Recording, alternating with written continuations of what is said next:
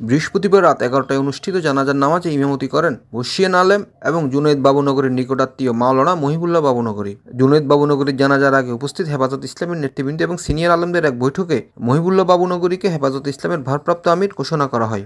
বৃহস্পতিবার সকাল এগারোটায় হাটাজারি মাদ্রাসার একটি কক্ষে অবস্থানরত জুনাইদ বাবুনগরী অসুস্থ হয়ে পড়লে তাকে দ্রুত চট্টগ্রামের সিএসসিআর হাসপাতালে নিয়ে আসা হয়। বেলা বারোটার দিকে হাসপাতালের ডাক্তার তাকে মৃত ঘোষণা করেন। হাসপাতাল থেকে প্রথমে জুনাইদ বাবুনগরীর মরদেহ আনা হয় আঠারো বছরের কর্মস্থল হাটাজারি মাদ্রাসায়। তিনি এই মাদ্রাসার শিক্ষা সচিব এবং প্রধান হাদিস বিশারদ সাইকুল হাদিস হিসেবে কর্মরত ছিলেন। পরে মরদেহ নেওয়া হয় বাবুনগরীর জন্মস্থান ফটিকছড়ি উপজেলার বাবুনগরে। সন্ধ্যার কিছু পরে মরদেহ আবার নিয়ে আসা হয় হাটাজারি মাদ্রাসায়। তার জানাজে অংশ নেন স্থানীয় সংসদ সদস্য, জাতীয় পার্টির প্রেসিডিয়াম সদস্য আনিসুল ইসলাম মাহমুদ সহ স্থানীয় আওয়ামী লীগ, বিএনপি ও অন্যান্য রাজনৈতিক দলের নেতৃবৃন্দ।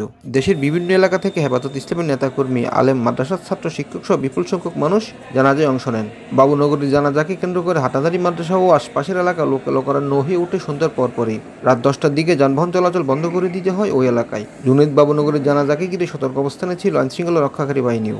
হেফাজত ইসলামের প্রতিষ্ঠাতা আমির মাওলানা শাহ আহমেদ শফির মৃত্যুর পর নানা ঘাত প্রতিঘাতের মধ্য দিয়ে আমিরের দায়িত্ব পেয়েছিলেন জুনেদ বাবুনগরী শাহ আহমেদ শফির মৃত্যু পরবর্তী ঘটনা প্রবাহ এবং এই বছরের স্বাধীনতা সুবর্ণ জয়ন্তী উৎসবে ভারতীয় প্রধানমন্ত্রী নরেন্দ্র মোদীর অংশগ্রহণের প্রতিবাদে হেফাজত ইসলামের সহিংস আন্দোলনের কারণে আলোচনায় আসেন জুনেদ বাবুনগরী এই মাদ্রাসার কিংবদন্তি তুল্য আলেম প্রয়াত মাওলানা শাহ আহমেদ সাথে মিলে দু হাজার এগারো বারো সালে গড়ে তুলেছিলেন হেফাজত ইসলামী। এই জীবসীন আলমের নেতৃত্বে নারী নীতি, শিক্ষানীতি সহ বিভিন্ন ইস্যুতে দেশের যে কয়েকটি আন্দোলন হয়েছিল, তার বেশ কয়েকটিতে বড় ধরনের সহিংসতার ঘটনা ঘটে। দু হাজার তেরো সালের পাঁচই মে তেরো দফা দাবিতে ঢাকা গেরাওকালে হাজার হাজার মাদ্রাসার ছাত্র শিক্ষকদের নিয়ে শাপলা চত্বরে অবস্থান নেন জুনেদ বাবুনগরী এর পরদিনই তিনি গ্রেপ্তার হয়েছিলেন।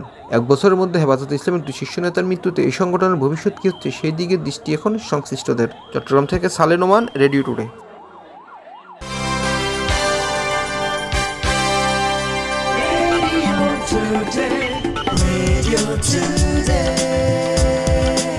Radio Today, 89.6 FM.